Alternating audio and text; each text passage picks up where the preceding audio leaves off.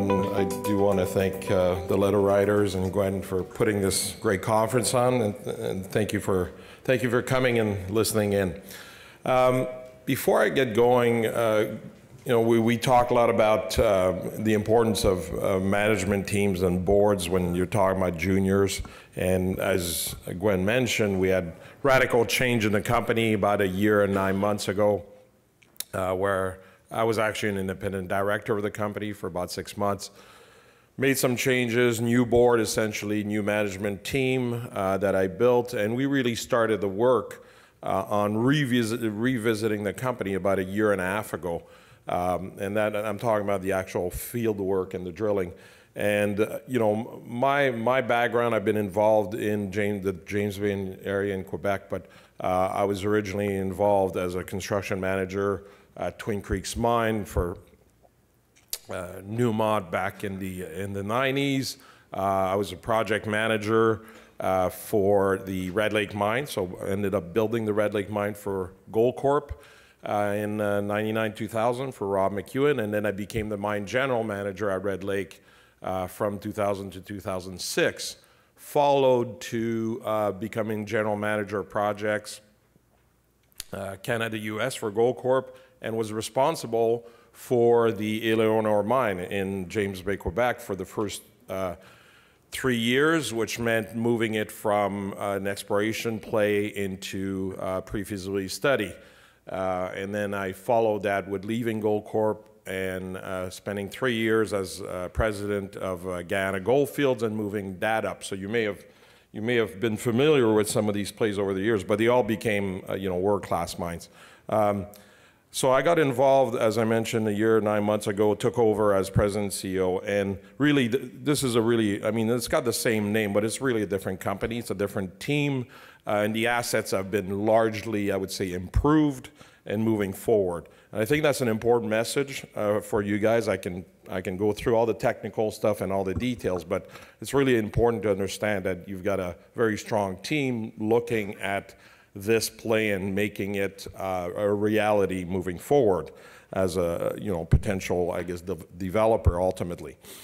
So um, this full presentation is available on your stick and on the website as well. So I'm going to be skipping over slides uh, as we go. So I already covered kind of the management strength, the new board, and the new management team. Uh, we are the most aggressive junior uh, in James Bay, uh, particularly as far as gold. I mean, you've got the Eleonore mine, which is currently producing since 2014, one of the flagship of Goldcorp. But other than that, uh, we have three projects that have the potential to become mines, and you don't have anything else. We've got a lot of explorers poking around, uh, but uh, we have very advanced projects. Uh, we've got great land position, and the three projects are listed there. I'm going to go through them a little bit more detail, but Clearwater is our main project, as Gwen mentioned, with the Eau Claire deposit.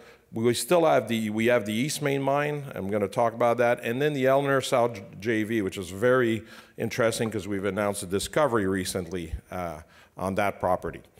Uh, so where are we located? This is James Bay, Quebec. Uh, again, largely untapped uh, from a resource perspective. Hydro-Quebec's been in that backyard for 50, 60 years, building infrastructure, roads, uh, power plants, uh, airstrips, on and on.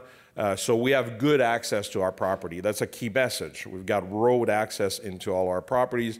Uh, a lot of them we have power nearby. So this matters when you look at developing uh, a, a new mine.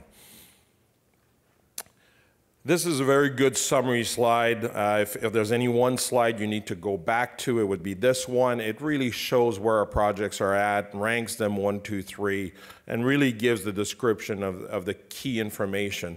You'll notice in the two green boxes, those are the two resources within the company. So we have two now 43101 resources, one main one uh, at Eau Claire, but we've got a brand new one as of two weeks ago uh, at the Eastmain Mine.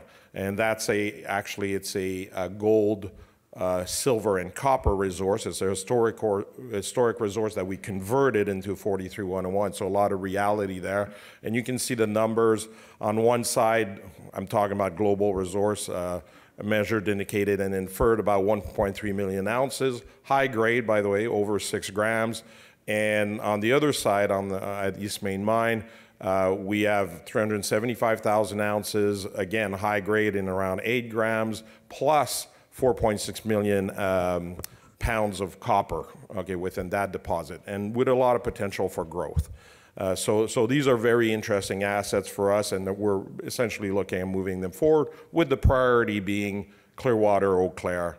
Um, so when we think of the company, uh, we have $6 million in the bank, so we're fairly well funded to be able to continue doing what we're doing uh, during the year. Uh, we are covered uh, by seven analysts, uh, actually six. One is pending because they've had a change of analyst.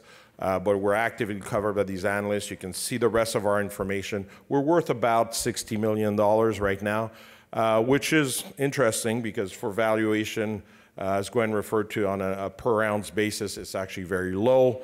Uh, and we believe that with some of the work we've done, the new resources, and the, uh, the PEA coming out on, on Eau Claire, which is going to be in April, late April, uh, I think that'll change uh, our valu valuation over time. So it's a very good proposition. Good list of institutional share shareholders, uh, very solid, ver very well-known names and respected. Um, and we work with them regularly to update them. But if you notice, over 60% of our shareholders are actually retail. And, and we're very happy about that, and this is why we're here, uh, because we want to be here for you. We want to, uh, you to understand what we are doing and how we're going to create value over time. So this is the value opportunity, much more important than all the technical, I think, is, you know, we we've had uh, a lot of challenges in the sense of turning this company around. So first of all, we're emerging from a difficult gold market. From listening to the different letter writers, a lot of them are saying that this is a turnaround point for gold and some of the other metals. So that's a good thing for us ultimately. Uh, we went through significant changes, but required changes uh, to move things forward. Um, and you know, we have done recent, in the last year and a half, recent extensive drilling, and it's all paying off because we are now coming out with new resources uh, that are very solid, very realistic, that you can actually move into economic studies uh, with. And on top of that, we happen to also do, have done two discoveries meanwhile, uh, all this in, in 18 months. Uh, so our enterprise value, as I mentioned, is below $40 an, uh, an ounce, when really the average of, of some of our peers is probably in around over 70. So you can see how the potential is a, a, change in valuation over time. So all our assets are gold and high grade, six to nine grams, uh, all of them, which will, would bode well uh, if, if, obviously the, uh, we're in a turnaround for the price of gold. Um, key message is the important milestones that we have achieved. Four months ago, we came out with a new Eau Claire mineral resource, completely changed that whole project uh, for, for the better, and that's the one we're doing the PA on. And then Eastmain Mine about two weeks ago as well. So the next value driver to remember is the PA coming out in, in April. So the question is, if you're not a shareholder, do you want to get in before the in, we announce the results or after? That's obviously up to you. Uh, but we also have exploration growth on all those projects, so pretty significant there. Um, so what I don't want to do is go through all every the details of each project. You've had a very good summary of what we have. This is all available to you. Uh, this is, by the way, what we're building the PEA on. So you can see the open pit at the top, then the underground, well defined. 75% of the current resource, a million ounces or so, is in the top 400 meters. So this is a very manageable uh, approach for a project. So we want to continue working on that with the expansion potential at depth. So I won't go through the rest of those details. At Main Mine, there's the new deposit, well, the historic deposit that we've turned into a new resource. Uh, we want to continue to do work. In red is the current resource now, and just up within a one to, well, from zero to three kilometers, up the mine trend to the northwest, you've got tons of exploration potential. We've had success there, including a discovery. And to finish up, on El- Eleonore South is the newest project. Again, a turnaround, partners with Goldcorp and Azimut. And we did announce a discovery in October on this property. Fairly significant gold system, very disseminated gold plus near surface plus um, high grade veins. Okay? So thank you very much. Uh, this is, as I said, the plan is the PEA coming up plus more exploration results. Uh, the rest of the year is key for us. We're available, obviously, at our at our booth uh, for discussion the rest of the day. Thank you.